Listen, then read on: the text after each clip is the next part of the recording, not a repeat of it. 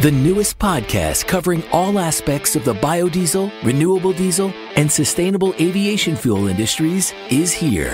From the experts at Clean Fuels Alliance America, it's the Better, Cleaner, Now podcast. Authentic conversations uncovering the dynamic benefits of clean, renewable fuels. From enhanced performance and immediate cost savings to lower emissions, positive economic impact, and improved air quality. The benefits keep growing.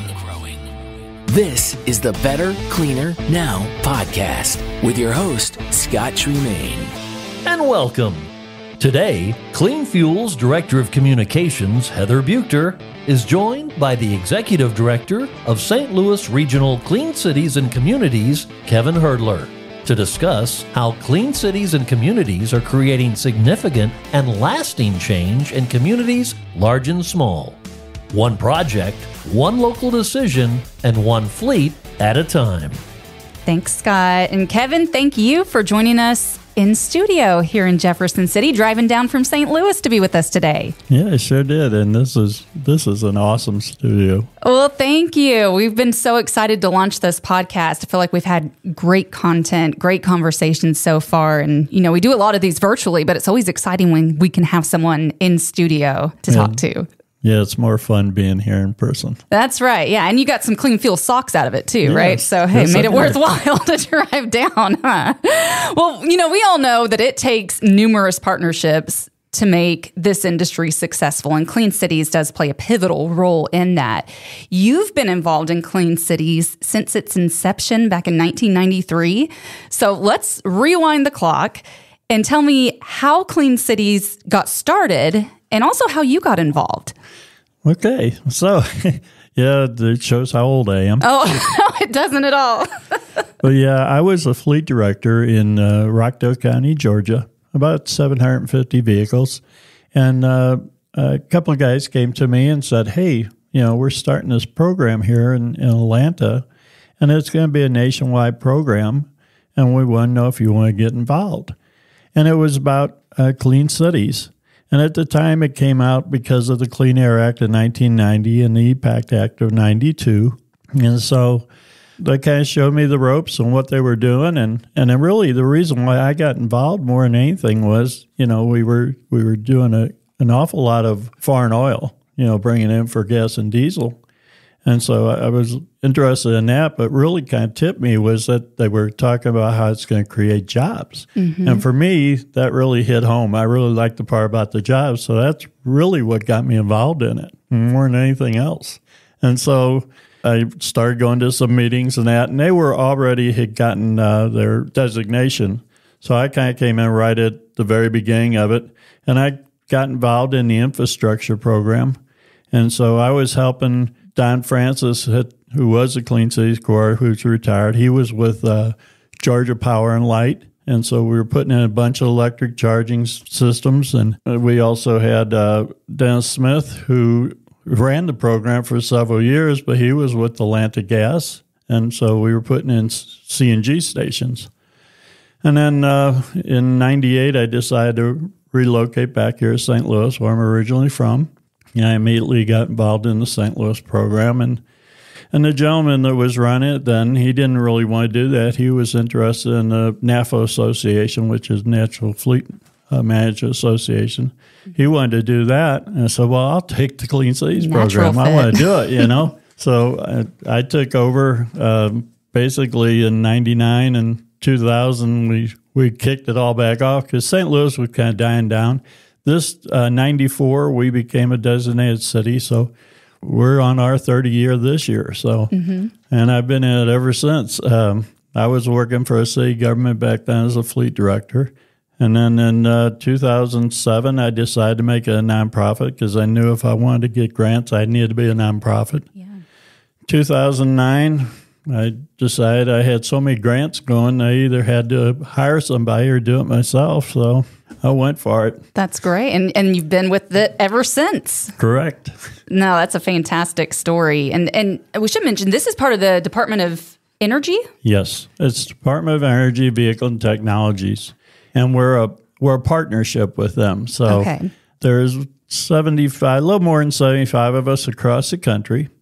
And when, like I say, you know, all different aspects. There's myself as a standalone nonprofit, but we're in universities, we're in city governments, state governments. Uh, we just uh, the group of us get together annually and we meet on conference calls and you know we share projects and mm-hmm. so you know like currently i have projects with oh gosh 10 other states and one grant and 14 states with another grant so we all work together for the same outcome well, and I know every year at our conference, at the Clean Fuels Conference, we have a number of clean cities uh, directors who come, and that's just another opportunity to collaborate. But we also appreciate that partnership too, because a lot of our goals align.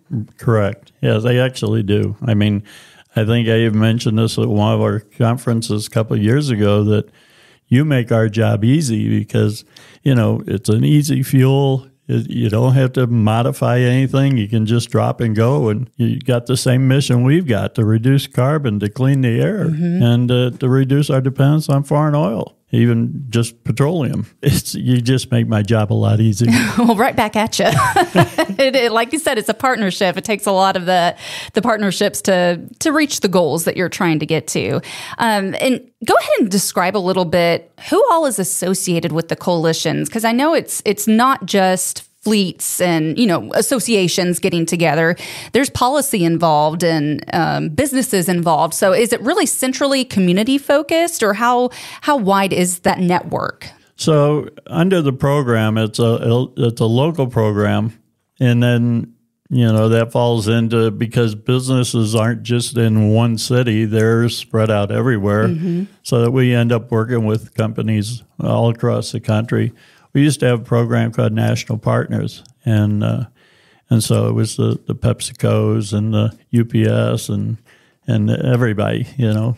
So we do work, even though each one of us work locally, you know, with local fleets. Uh, we do work on a national level, and we yeah. work on a regional level. Very good.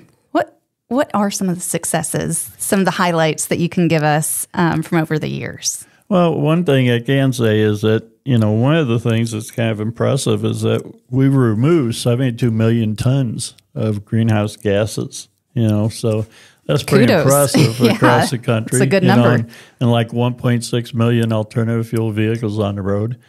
Uh, in the St. Louis area or in Missouri, or at least the eastern half of Missouri, we've, uh, you know, we annually replace about 21 million gallons, which is just probably a drop in the bucket, but every little bit helps. Exactly. And it's always over 100,000 tons of emissions reduced. You know, so we go out there and we work with fleets and really, you know, we went through the, the name change like you guys did. Mm-hmm. We realized that, you know, in the beginning, it was all about fleets. You know, we didn't work with the general public at all because you get in your car, you drive to work 20 minutes, then you get in a company truck and you drive for six or eight hours. Yeah. And that's the fuel you're using. Then you get in your car and you go home. So, you know, we were we were focused strictly on fleets.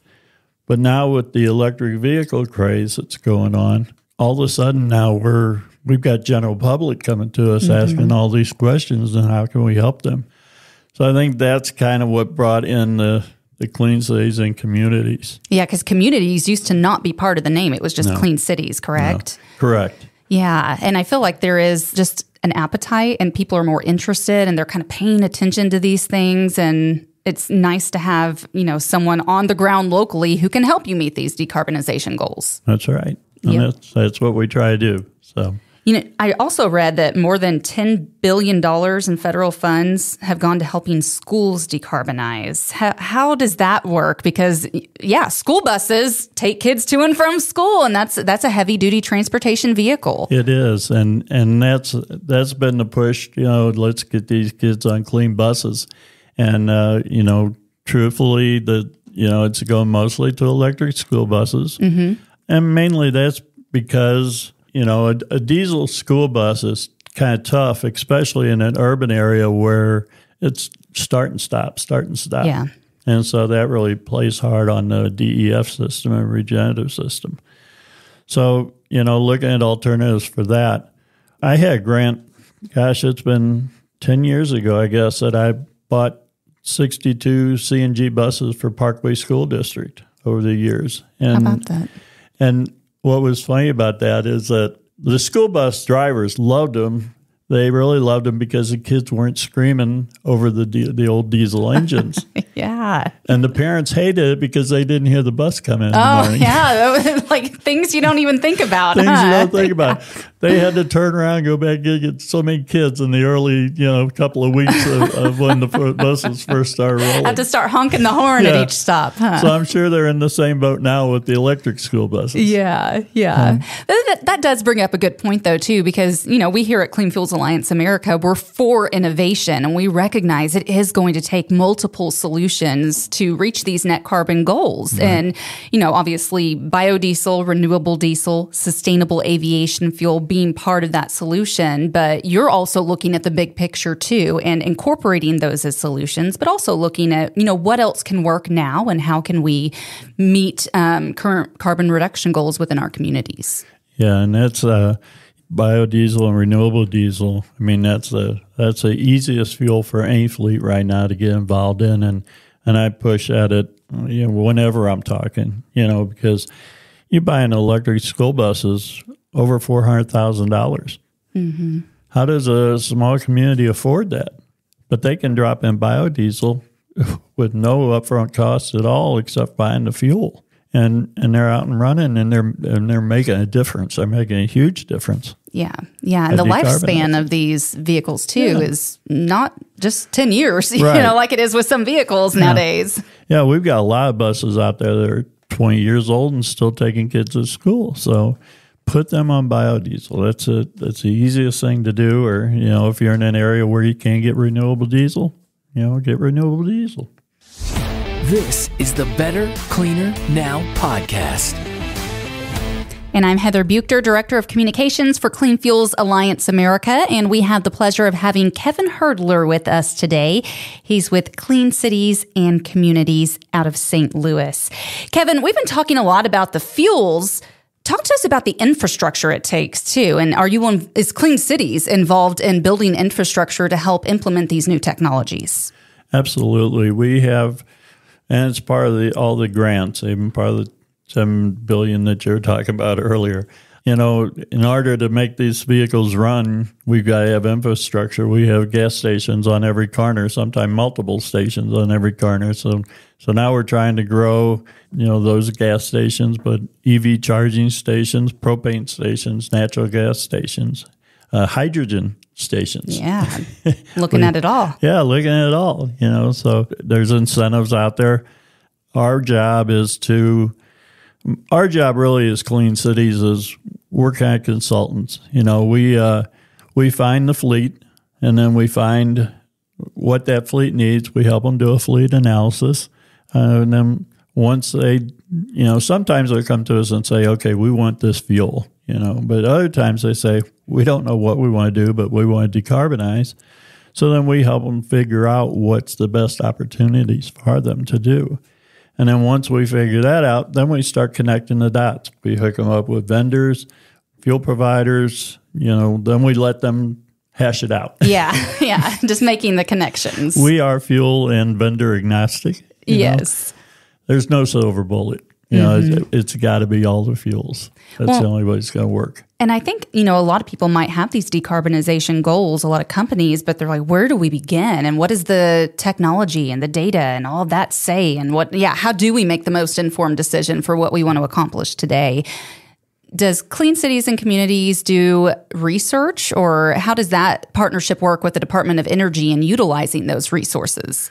Right. So we work with uh, all the labs Argonne, NREL, you know, we Oak Ridge, we work with them all to test the technologies that are out there, and then make sure that they're actually working. They're going to work, you mm-hmm. know, and then from there, you know, then we work directly with Department of Energy on what we can do from there on on you know getting these fuels and these technologies out there. And it isn't just the fuels. I mean, we do we do the uh, SmartWay program under EPA where we support trailer skirts and APUs, like auxiliary hmm. power units, and bus heaters. You know, Yeah. a lot of your electric buses that are out there are running diesel still, so they can heat the bus. You know, Oh, yeah, that's So- something you don't really think about, but Right. that, that could be running on biodiesel too. and I, and actually, I'm working with one manufacturer to do a B100 uh, heater. How about that? yeah, and that's in the St. Louis area. Uh, well, it's, they're not in the St. Louis area. They're in Canada and across the country. So Mm-hmm. I'm working with them, getting them biodiesel Nice. to, to do some tests and to I- see if their unit can run. Since a future podcast on that once we get some more information. Yeah.